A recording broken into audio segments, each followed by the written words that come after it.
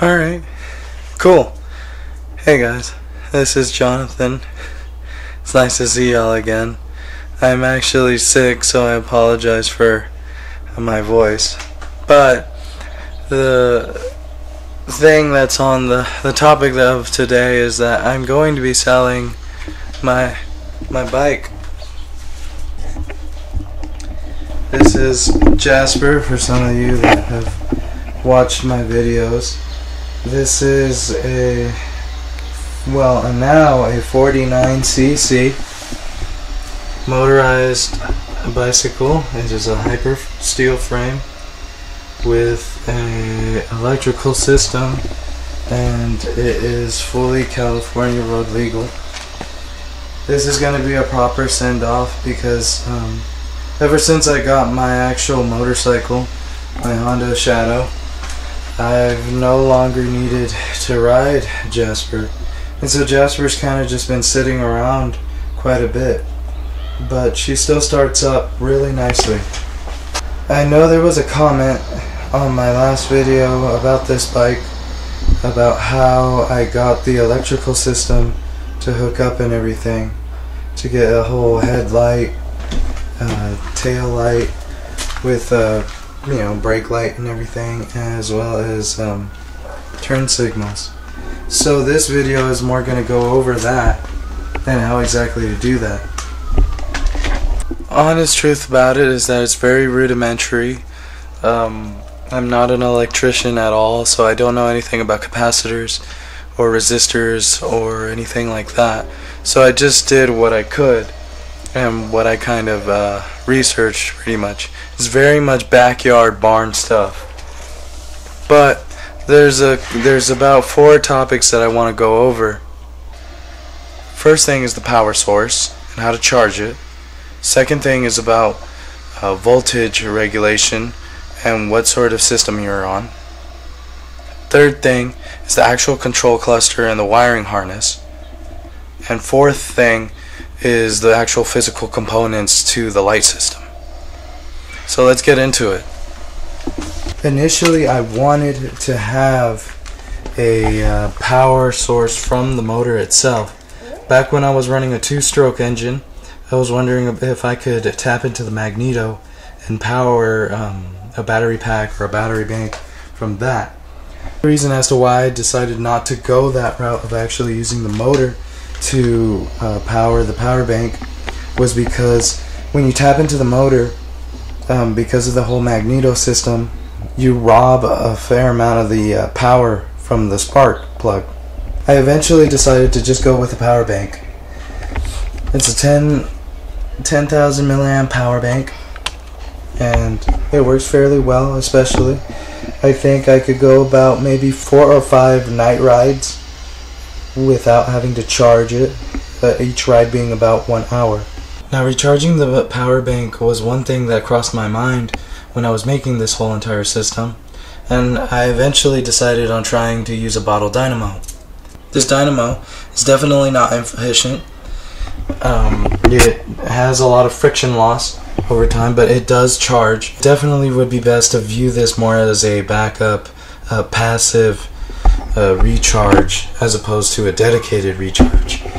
I think if I remember correctly, it took me maybe about um, what six minutes of riding, continuous riding with uh, the wheel spinning, to get about maybe one or two percentages onto the actual power bank. This leads me to the second point that I was talking about when it comes to voltages and regulation and what kind of system you want to run. Power banks run on a 5 volt system, so these power up 5 volt. Now this bottle dynamo only puts out 12 voltages of uh, electricity. Not only that, but it only puts out AC current. You have to run your system with a compatible type of current as well as voltage rating. Now, uh, if you find this sort of situation where I have a charge system that is running off of a 12 volt and AC current um, output, you will have to convert it to work with a power bank, which runs off of a 5 voltage system and a and a direct current. So in order to do that, you have to hook yourself up to a buck converter. So now that we talked about the power source that you want to decide, as well as any sort of recharging capabilities that you want to do, let's go ahead and talk about the control cluster. This is the control cluster that I bought off of Amazon. I believe it's originally for a uh, e-bike setup. On the Amazon page, you will find that it is rated for 12 volts. So, the question is, hey Jonathan, I thought you said that you know you have to run off of the same voltages and everything like that. Well, here's the trick. These control clusters are only wires and cables as well as small little switches.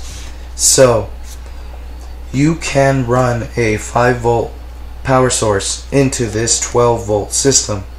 So we're going to go ahead and plug this in to give it some power. There we go. So we'll go ahead and turn it on. So as you can see, the lights do work. They do turn on. But, like I said before, since we do have a 5 volt power bank going into a 12 volt rated item, these lights are actually not as bright as they should be. But, since it's only wires and, and little switches, for the purposes of running a whole entire uh, electrical system, it still works. Especially because the items that I have them hooked up to, which are these last four compo these four components, the two tail lights, the um, back rear light, as well as this headlight. These are all 5 volt items. So to continue on with the control cluster slash wiring harness topic, this item from Amazon comes with a whole splice of cables that will hook up to all the different components that you want. So first thing, wired it all the way over. This is where I've spliced in. If uh, you can, and this is where a lot of the learning curve comes from, I learned how to solder wire, which it might be part of the learning process that you want to embark on with this whole entire uh, system. Because, like I said, it's definitely not perfect, but if you want to learn basic wiring principles, this is wonderful. So, this is the headlight. The thing about this light is that it comes with a 12 volt bulb, and it will work, but it will not be as bright as intended. So, what I did is I basically took apart this housing and I fixed a 5 volt LED system that I got as a USB powered light bulb. As you can open it up and see, it's all just wired through this cable which goes to the light cable.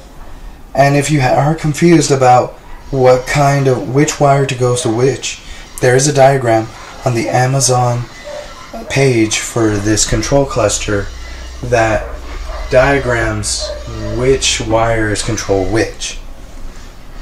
So I basically just took this apart and I screwed in the actual light bulb um, LEDs onto there. And it works.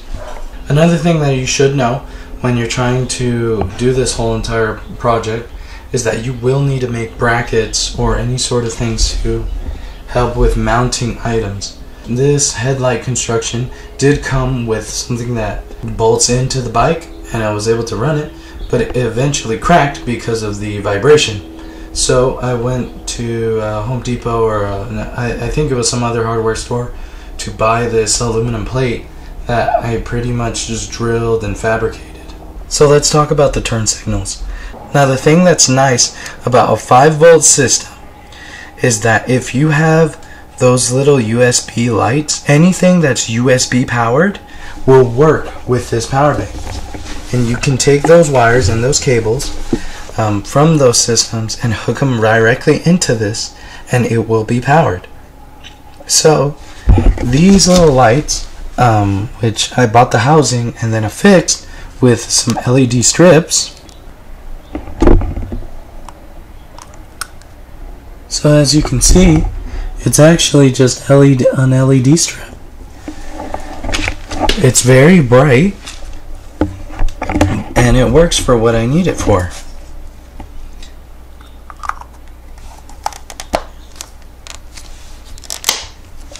I went ahead and bought these, which normally are supposed to be hooked up to an LED strip. So the really nifty thing about it is that you can set your turn signals to blink as fast or as slow as you want them to, which is really nice. As a last component, I wanted to have a brake light as well as tail light, basically combo. The tail light is very simple to hook up. It was as straightforward as the uh, headlight is. You just splice the you just splice the wires together, and there you go. You have power whenever you push the button.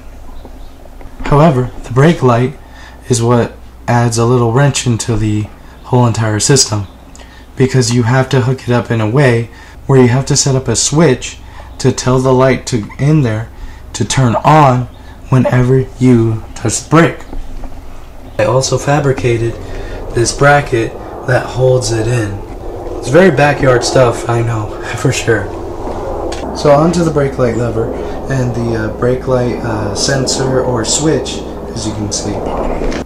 So this, this little device right here is actually a brake light switch for a rear brake on a motorcycle. What I've basically done is I've taken the spring that it comes with and I have looped it through the brake lever to where it is on the actual brake lever itself. And this pulls on the switch and activates it. So just to demonstrate,